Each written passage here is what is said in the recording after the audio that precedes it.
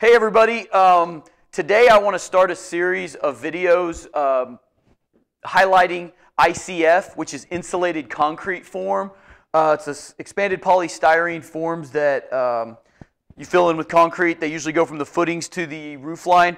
They replace your outer walls, your outer insulation, and everything um, associated with that on the outside of a home. It gives you incredible thermal protection, very efficient house, also uh, windproof up to 250 miles an hour. So it's you know it can take almost any tornado.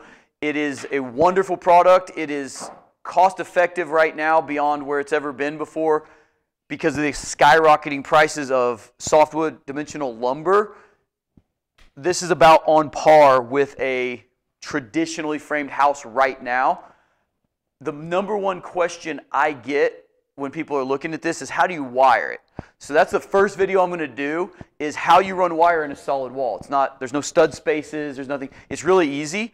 Um, you don't really need a lot of specialty tools. We do usually carry around a router or in this case a cheap Harbor Freight chainsaw. Um, and I will get into it's it's actually kind of fun. it's um, and that's it. So I'm going to get into right now the nuts and bolts of ICF and how you wire it. So this is a partial form right here. I just wanted to kind of show you what's inside. Um, every eight inches you have a web. It's a injected molded plastic web. In while you're pouring, while you're building the ICF, it, it acts as the structural portion of the form. It holds the concrete, the pressure of the wet concrete.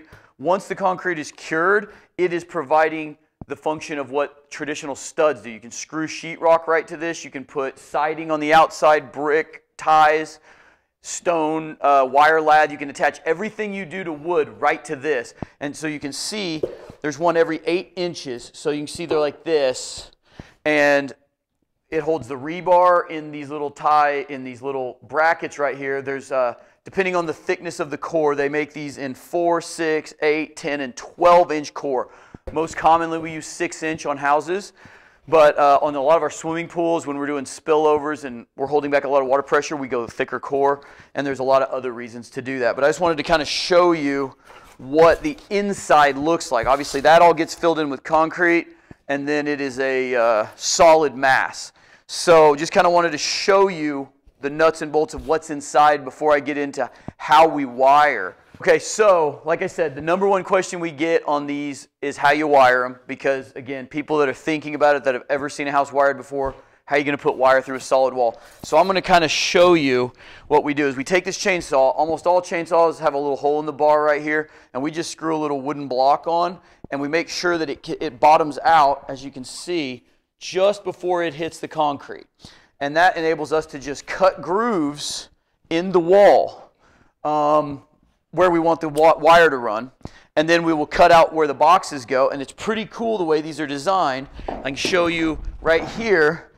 We take a regular sized box, and when it bottoms out at the concrete, it's sticking out just enough to go through the sheetrock. The sheetrocker, as he's hanging, just cuts around it like he does a traditional box, and it's just embedded in there perfectly. It's really well thought out.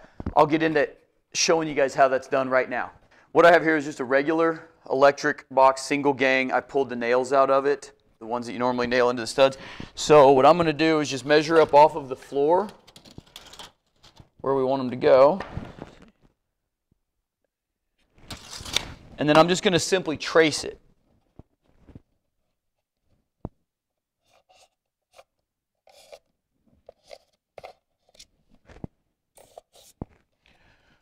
Okay. After we get that done, I'm going to go ahead and uh, plug in the chainsaw. And what I will do is, is just simply connect the dots. I will go from this wall behind me to this, to the next one and beyond. And then I'll show you how we uh, put the wire in the wall, how we secure it, and how it's done. I, uh, I just started cutting across outside of where we're actually going to be showing you today. And I just wanted to point out that everywhere there's a web, it says, in this particular case, we're using Fox blocks. They, every ICF form will mark their webs or their studs, or say Fox blocks every eight inches. Try not to lay out your box on a web. You can, you can cut through the web, it's fine, it's just a pain. But lay them out between it. You're, you're, you can lay it anywhere on the wall. You're not married to stud spacing like traditional framing. So in this case, this is where the master bedroom, the, the king size bed will be. So we laid it out on either side and we can put them exactly behind the nightstands or whatever will be beside the bed. Instead of having to block out to get them exactly where we want them, we can put them anywhere. So real quick, I'm going to start cutting and I'll show you kind of how that goes.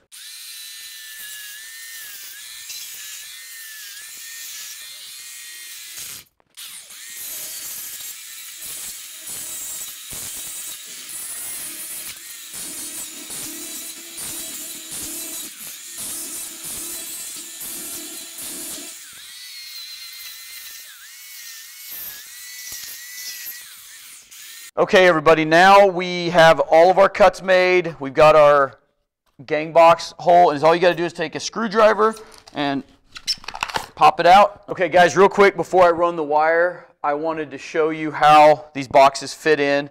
Um, you got the single gang box, and once you clear it to the concrete, it fits in nice and snug, and it's sticking out just enough for the sheetrock, and you're done. So I'll show you now how we run the wire. And there's a lot of times if your chainsaw, if you're not, if you don't cut quite that pretty, you can take some of the scrap and poke it in on the sides to hold it while you're doing the wiring. Like I said, there's a way we secure all this I'm going to get to in just a second. Okay, guys, uh, got my got my groove here. I've got my 14-2 Romex. I'm in a bedroom, so I like to use a speed square. Other people use other things. Uh, you can use a Sharpie, anything. I don't want to use anything sharp like a flathead screwdriver because I don't want to damage the Romex.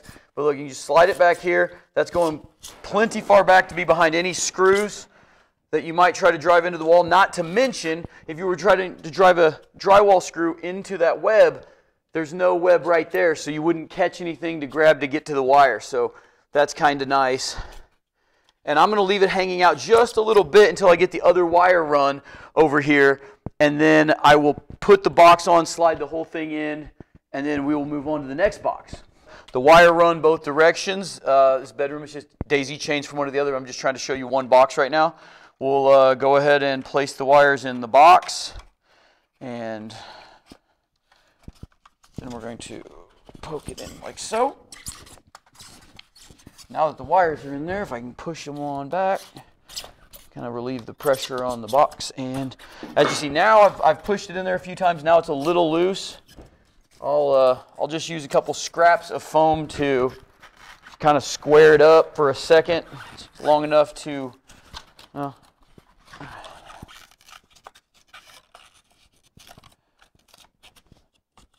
there we go. Now it's in there just right. Okay, now I'm going to show you the last thing in just a second, how we secure this permanently. Obviously, that is not the actual answer. All right, guys, um, the last phase of securing wire or PEX pipe that's going for your plumbing, anything like that, is foaming everything in. This will be your best friend when you're doing ICF, whether it be our uh, joints where the layout comes together, you foam everything, you seal it up, no concrete leaks out while you're pouring. It's, it's really handy. But then around your windows, you can really tighten up a house with one of these.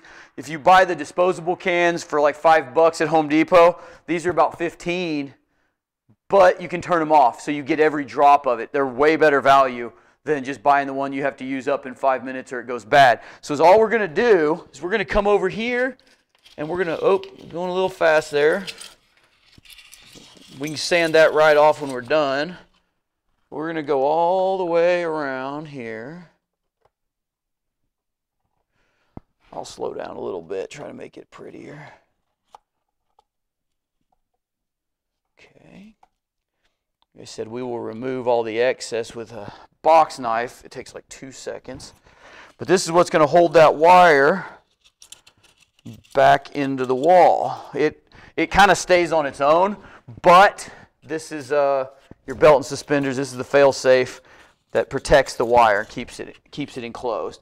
So we just do that to the next one, go around that box. And this whole process, uh, most of the time the electricians will, I'm going to go ahead and close this. Uh, but most of the time the electricians will do the entire house and just do this all at once. It takes them like an hour to run through a normal size house um, and foam it all up. Like I said, you just take a, we have a rasp or a screwdriver or anything, just knock off all the where I get a little excited and use too much foam. But that's that's it, guys. That is effectively ready for sheetrock. You do that to the whole house, and you know you've got a fortress, and that's how you run wire in ICF.